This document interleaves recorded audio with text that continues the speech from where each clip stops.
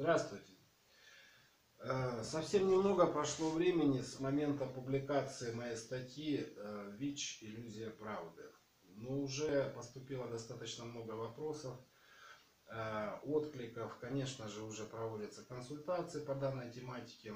Но некоторые из вопросов я бы хотел осветить в этом коротком видео. Один мой хороший знакомый, он в свое время проходил у меня курс по эректильной дисфункции, ну, э, по-русски говорят, импотенции. Мужичок у меня пролечивался. Так вот, эм, именно он, кстати, вот по импотенции, очень интересный тоже результат был у него. 5, нет, 6 лет назад он проходил курс, и у мужика все в порядке, хотя ему уже 73 года. Так вот, он очень такой товарищ въедливый и в хорошем смысле слова. И э, он мне задал такой вопрос, хотя хорошо меня знает, э, после прочтения статьи у него э, был такой вопрос. Ну, вкратце, получается, вот он говорит, получается, что вся та информация, которую мы знали, как бы понимали о вирусах всю свою сознательную жизнь, она получается как бы ошибочна и неверна. На что я ему вполне конкретно отвечаю, что э, я никогда не ставил своей задачей опровергать либо доказывать э, какую-либо информацию. И в случае с ВИЧ это э, правило непреложное.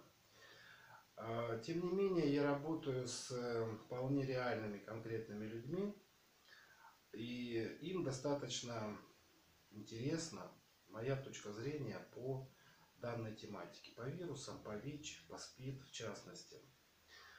Ну вот смотрите, э, ко мне приходят люди с гепатитом С, приходят люди с гепатитом С, а, приходят э, люди с генитальным герпесом, например, да, или с вирусом, с тем же самым Штейн-Бара, он же э, вирус герпеса четвертого типа, с вирусом папилломы человека, с онковирусами, а уходят, то есть заканчивают курс 4-6 э, месяцев уже без этих самых вирусов. Естественно, э, людей интересует много вопросов и в частности, как же так? Вот э, официалы не берутся им помочь, а вы можете. Вот именно поэтому, потому что люди интересуются, им не только как бы а, нужен результат. А, многие хотят знать и понимать, а за счет чего этот результат достигается. Вот именно поэтому я и высказываю свою точку зрения на те же самые вирусы, на тот же самый ВИЧ, на бактерии, на другие микроорганизмы, на грибы и так далее. Сам принцип, сам принцип основан на том, что э, никакой не должно быть химиотерапии. Абсолютно. Любая аптека это в первую очередь это химиотерапия. Э, все мои технологии, они природоподобны.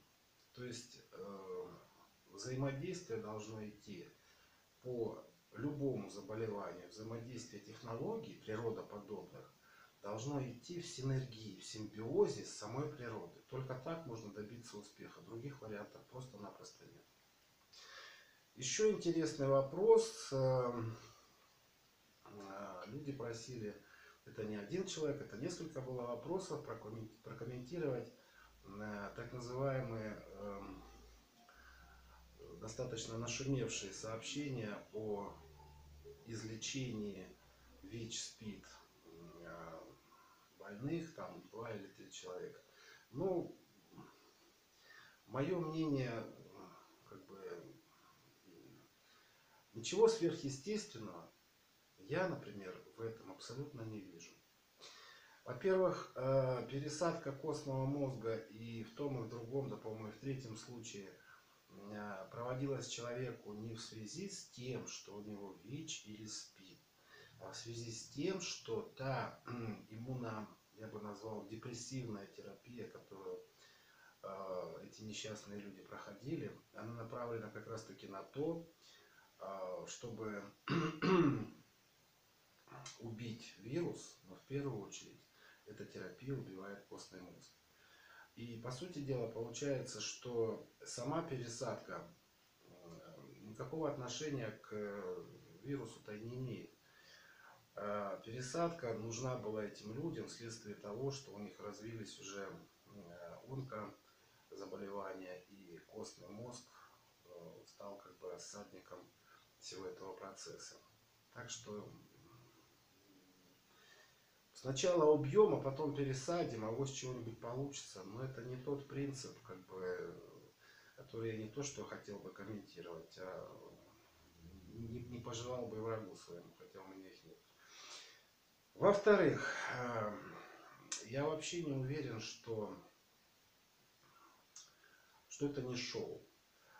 Э, потому что уж э, столько я много раз видел нечто подобного, когда объявлялось, что вот наконец-таки что-то, какой-то результат достигнут, а люди все равно э, как бы конкретики никакой не видят, не, не, не ощущают на самих себе.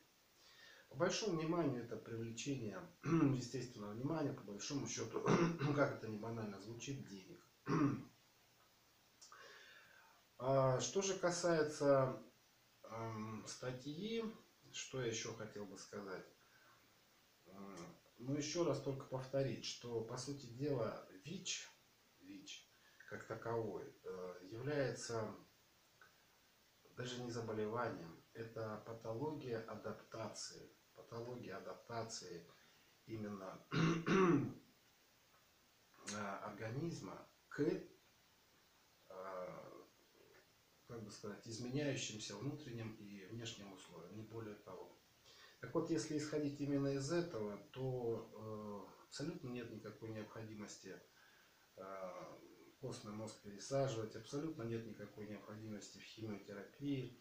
Это, я считаю, не то, что не нужно, это вредно просто-напросто э, для самих пациентов, но которые просто-напросто вынуждены применять, идти на подобные меры, потому что Потому что, к сожалению, другой терапии у современной официальной медицины просто-напросто нет.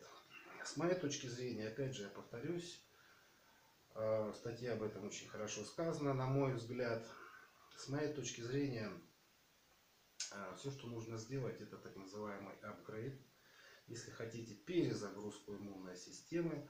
Потому что накопленные системные ошибки они могут быть как наследственного, так и приобретенного характера. Просто-напросто не позволяют иммунитету функционировать так, как он должен функционировать от матушки природы. Вот и все. А пока этого не будет сделано, э, и ВИЧ, и СПИД э, из разряда э, актуальнейших проблем современности ни в коем разе не выйдут. А, к описанию этому, этого видео представлен фрагмент как раз таки статьи, о которой я рассказывал. И внизу будет ссылочка, по ней вы можете перейти на мой блог и прочитать статью целиком. На этом все. Спасибо за внимание.